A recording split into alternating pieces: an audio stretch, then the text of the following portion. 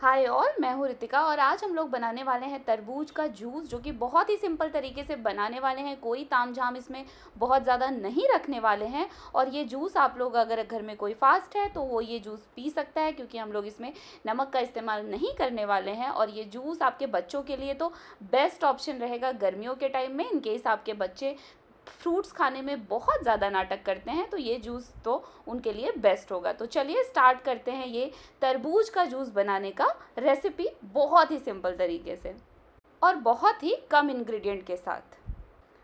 तो ये देखिए, यहाँ पे मैंने ले लिया है तरबूज। बिल्कुल लाल लाल आप देख सकते हैं। तो तरबूज का क्वालिटी देखिए, आप जूस बनाने जा रहे हैं तो तरबूज का क्वालिटी बहुत अच्छा होना चाहिए। आप टेस्ट कर लीजिए उसको, तरबूज मीठा हो तो जूस पीने का आनंद और ही आ जाता है। तो ये देखिए, यहाँ पे तरबूज को अच्छे से धुल के हमने कट कर लिया है और ले लिया है थोड़ा सा चीनी और नींबू।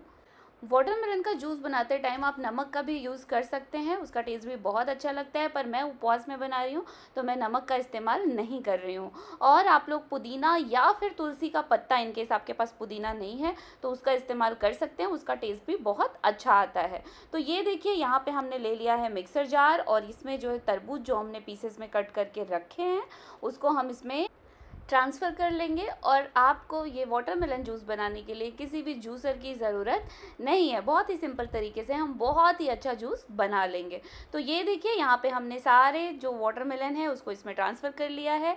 इसमें थोड़ा सा हम नींबू का रस निचोड़ देंगे इनकेस आपको खट्टा नहीं खाना है तो आप ये पार्ट को स्किप भी कर सकते हैं। और उसके बाद हम इसमें ऐड कर देंगे चीनी। चीनी जो है, पूरा रिक्वायरमेंट रहेगा जो है आपके टेस्ट पे और जो है तरबूज कितना मीठा है उस पर डिपेंड करेगा। और ये देखिए, हमारा जो वाटरमेलन जूस है, ये ऑलमोस्ट बन के रेडी है। इसको हमने मिक्सर को चला लिया है, लगातार नहीं चलाया है थोड़े थोड़े देर रुक के हमने चलाया है ताकि इसके बीज जो है पिसे नहीं। और आप बीज भी निकाल सकते हैं इनकेस आपको, आप जूस बनाने से पहले भी बीज इसका निकाल सकते हैं और नहीं निकालते तो भी कोई दिक्कत नहीं है। तो इस तरीके से हम छान लेंगे। इनकेस आप बीज निकाल लिए हैं तो आपको छानने की भी ज़रूरत नहीं है। और ये देखिए हमारा वाटरमेलन फ्रेश वाटरमेलन बिल्कुल घर का बना हुआ फ्रेश जूस बन के रेडी है।